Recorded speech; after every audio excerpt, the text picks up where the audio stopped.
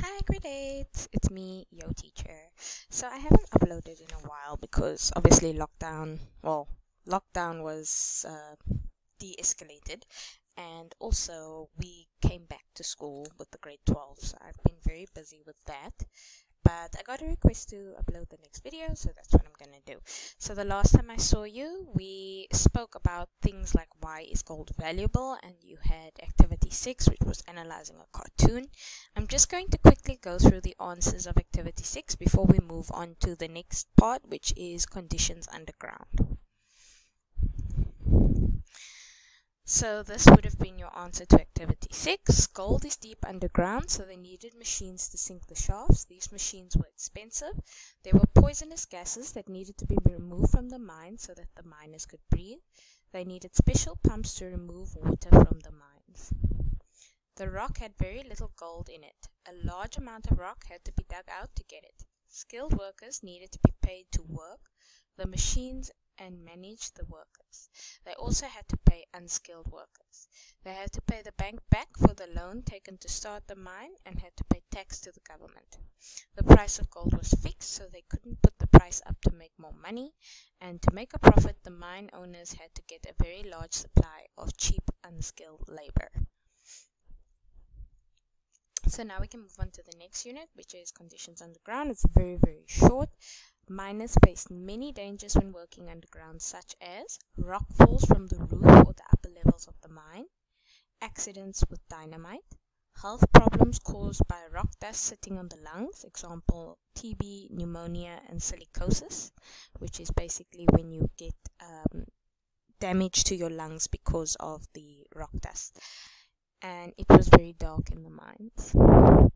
So this picture shows how conditions were like underground. What do you notice about the picture? So first thing that will probably immediately draw your eye are the people. So we can see here we've got the white guy sitting here in the middle and then you've got lots of people of color around him.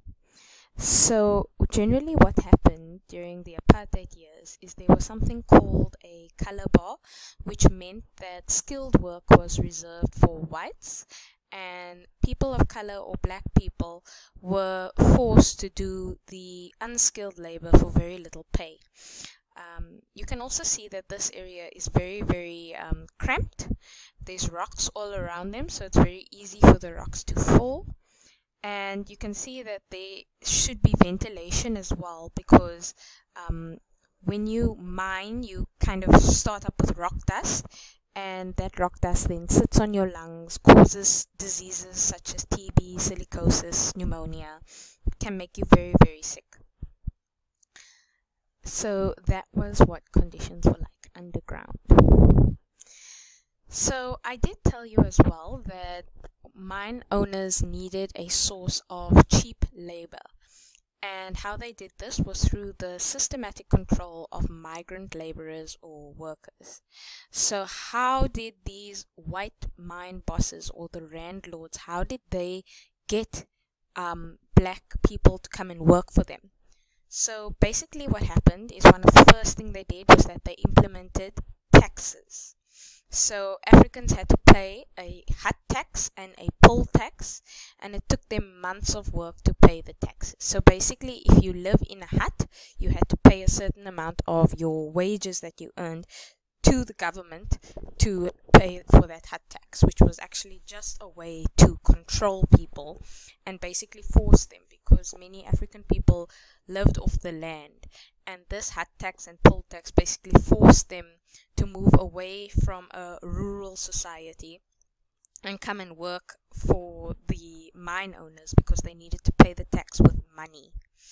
Uh, the next thing they did is recruitment. The Chamber of Mines sent recruitment agents to villages to encourage people to work on the mines.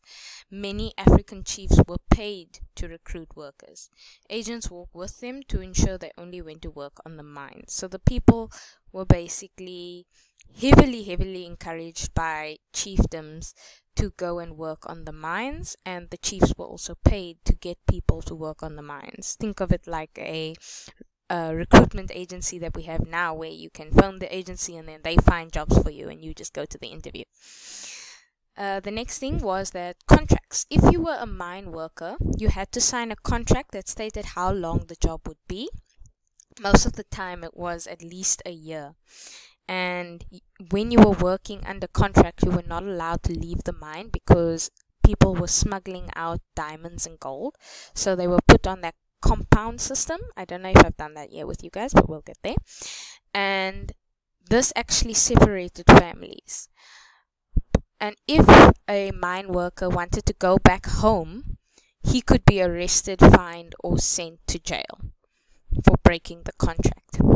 And then another way that they controlled people was through the pass laws. I'm sure you guys have all heard of the Dompas.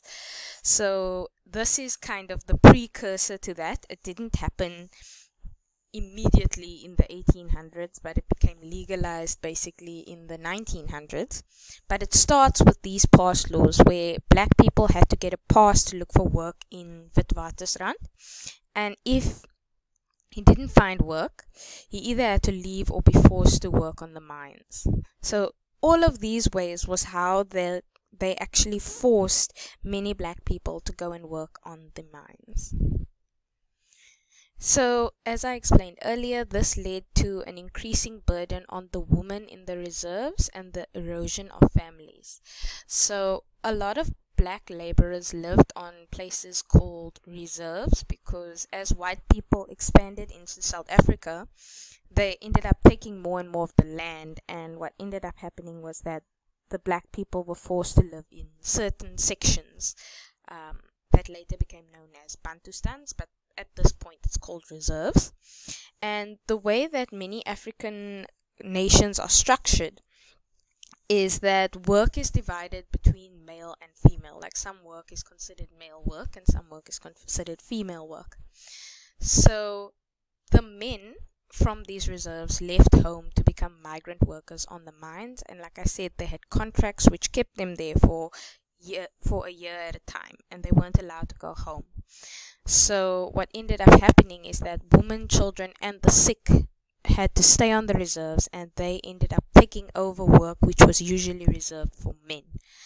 Um, so this created a lot of problems. Firstly, it led to family erosion. You can imagine if your mom or dad has to go away for a whole year and they can't see you, it can cause serious stress in your family.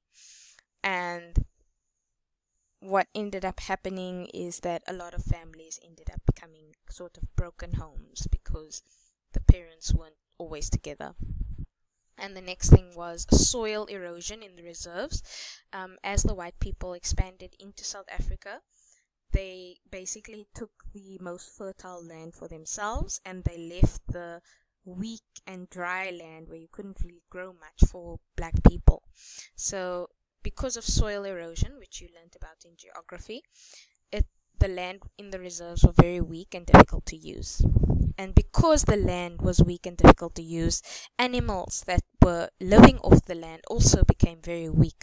So, because there wasn't a lot of grass for the animals to eat, they became thin, and animals like cows produced less milk, which basically led to sort of starvation for the people on the reserves as well as the animals. And then now, because they can no longer live off the land like they have been doing, they are forced to go into what we call the money market. So, my cow is not giving me milk. What do I do? I go to the shop, I buy milk. So, people were forced to buy things from trading stores, but they needed money to do so and this in turn creates a cycle where more people have to end up working on the mine so that they can earn money and they're basically forced into that money society instead of living off the land. So here's an image of people that moved to the towns. You can see they've become very westernized, wearing the clothes of the white man and the European. And if you look at the people that lived on the reserve, still very much as natural as can be. So, the next time I see you, we'll be talking about skilled and unskilled white workers. So, I did mention that a little bit when I spoke about the color bar, but we'll go into detail in the next video. Thank you so much for listening, and I'll see you next time.